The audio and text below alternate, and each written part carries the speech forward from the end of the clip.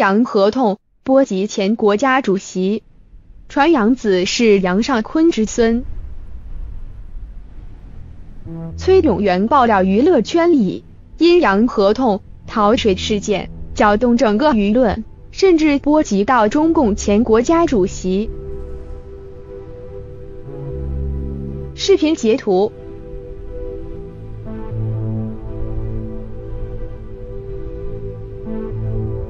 新唐人北京时间二零一八年六月十日讯，崔永元爆料娱乐圈里阴阳合同逃税事件，搅动整个舆论，甚至波及到中共前国家主席。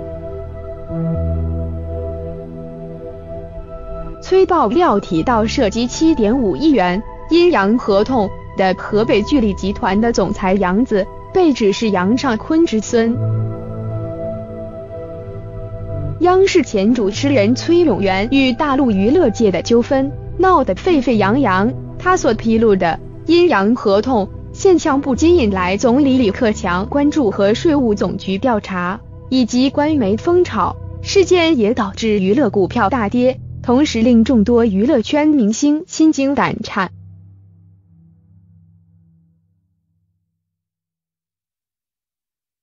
随着爆料事件的不断发酵，还有被崔永元爆料牵出来的人上了中共纪委的追逃名单，甚至波及中共前国家主席杨尚昆。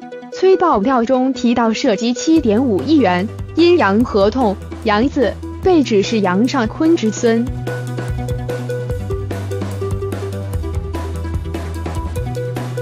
崔永元五日在接受陆媒专访时爆料。他手上掌握了多份阴阳合同，中最严重的是中国巨力集团总裁杨子及其妻黄圣依涉嫌七点五亿元人民币阴阳合同。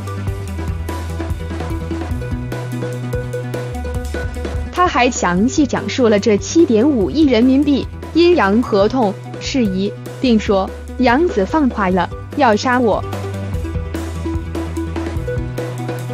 当日晚间，杨子在微博上紧急回应称，不存在用阴阳合同问题，也从未威胁过崔永元。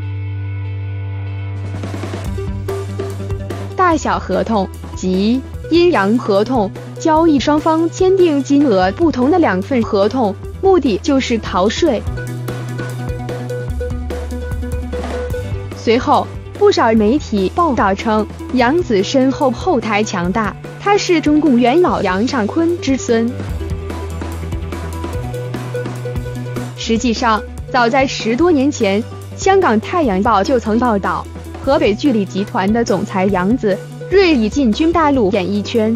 当时杨子被问及他是否杨尚昆之孙时，杨子一概笑而不答。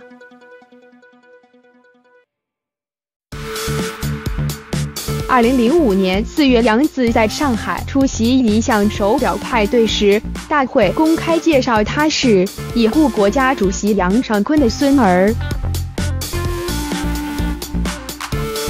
当记者提及其爷爷杨尚昆时，杨子以问题太敏感为由拒绝回应。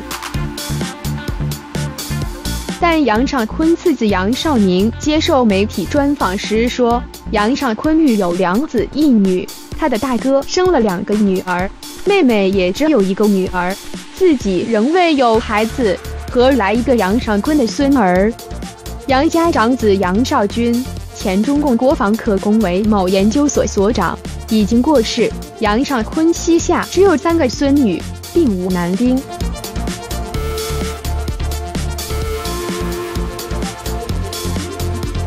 杨少宁则是杨尚昆唯一在世的儿子，仍独身。